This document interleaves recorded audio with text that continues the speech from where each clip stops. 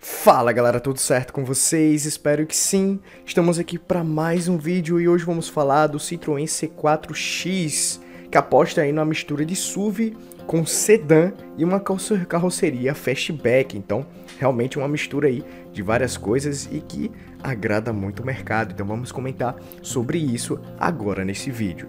Mas antes de qualquer coisa, eu tenho que pedir para vocês deixarem seu like e se inscreverem no canal. Realmente é muito importante aqui pra gente. Estamos aí com a meta de trazer vídeos assim como esse todos os dias aqui no canal. Então, conto muito com a ajuda de vocês. Estou pegando a notícia aí da motor1.com, o link está na descrição do vídeo. Vamos embora. Rival da Renault Arcana será vendido lá na Europa em versões a combustão e também puramente elétrica. E vamos falar de possibilidades aqui no nosso mercado, tá? Vamos embora. O lançamento de veículos com estilo fastback parece ter se tornado aí conta do calendário de novidades das marcas do grupo Stellantis. Depois aí da Fiat confirmar que para breve a estreia do inédito Fastback e do Peugeot apresentar o arrojado 408, agora a Citroën revela por completo detalhes aí do C4X, o modelo toma como base a nova geração do C4 europeu, tá? Deixando isso bem claro, e é definido pela marca como alternativa única aos hatchbacks e SUVs, tá? Segundo a própria marca. O design claramente é o principal chamatriz do C4X. Por fora, o estilo aí diferenciado da carroceria atrai todas as atenções e mistura os elementos de SUV e também de sedã e a dianteira e laterais são grande, é, em grande parte compartilhadas aí com o próprio C4, né? De frente assim dá para se enganar. Enquanto a traseira concentra doses extras de personalidade.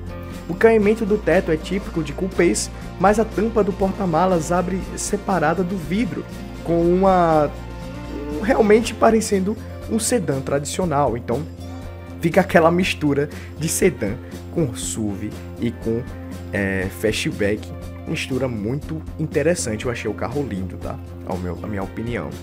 Ao todo, são aí é, 4,60 metros de comprimento, 1,80m de largura e 1,52m de altura, além de 2,67m m de distância entre eixos. O porta-malas é amplo, amplo, perdão, graças ao novo estilo da traseira e acomoda 510 litros. No portfólio europeu da Citroën, o C4X fica posicionado acima do C4 tradicional, uma geração à frente do Cactus vendido no Brasil e abaixo do C5X, né, que também adota design com estilo bem diferenciado.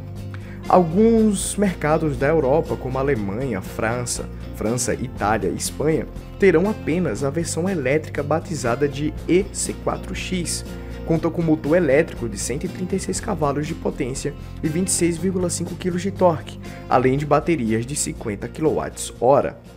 A autonomia é de 360 km e representa um aumento de 50 km a mais sobre o C4 tradicional, tá? Graças aí principalmente ao coeficiente de arrasto de apenas 0,29, o que é muito bom para um SUV, né? A Citroën garante que é possível carregar 80% do conjunto em 30 minutos em pontos de 60 kW né, DC, né, que é carga rápida, e dados de fábrica indicam ainda a aceleração de 0 a 100 km em 9,7 segundos e máxima de 150 km por hora. O que eu achei pouco, tá? 150 km por hora. Digamos aqui no Brasil, um exemplo, tá? Tô trazendo aqui para minha realidade. Você tá aqui a, a, velocidade de cruzeiro a 100 km. Você vai fazer ultrapassagem, você pode passar de 150 ou precisar passar de 150, né? A depender da situação. O que eu achei pouco. Eu acho que 170, 180 já é algo muito ok. Mas vamos lá. Outros países terão também o C4X equipado com motores tradicionais. Temos o motor 1.2 turbo a gasolina de 102 a 130 cavalos. Também temos o motor 1.5 turbo diesel de 130 cavalos, tá? O câmbio pode ser aí de manual de 6 marchas ou automático de 8 velocidades. Toda a produção será concentrada, concentrada na fábrica da Stellantis em Madrid, lá na Espanha. Beleza? Mas enfim, galera, muito obrigado por ter assistido até aqui. Deixa aquele like, se inscreva no canal. Valeu, galera. Falou e até até mais. Valeu.